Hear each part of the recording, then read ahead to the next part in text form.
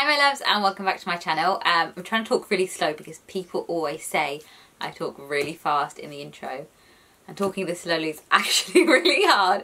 Um, but today's video is a hijab lookbook. So my gorgeous friend Melanie from Haute Hijab sent me some really really stunning hijabs. There's a mix of materials. There's like viscose, maxi ones, chiffon, prints, plain. Um, so instead of like doing hijab tutorials, because let's be honest, I'm quite bad at them, like this is my go-to style and it's the only style that I've perfected to a T. Um, I just thought I'll do a lookbook instead. I can do lookbooks for makeup and lookbooks for outfits, so why not do one for hijabs? So I'm going to show you all the colours that I got. Um, they, Like I said, they are really, really stunning colours. If you guys want to check out Melanie's page, I will link her YouTube and her Instagram down below as well. Um, I think you guys will really like her page. I only met her last year and literally we hit it off so much. She is so similar to me um, in personality and she's just so, so, so lovely and she's hilarious. She's so funny.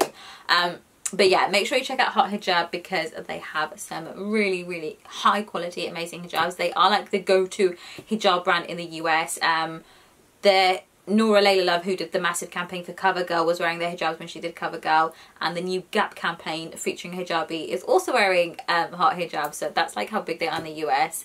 Um, and I guess I'm going to share that with my UK sisters and sisters all over the world who are not in the US and maybe don't know about them.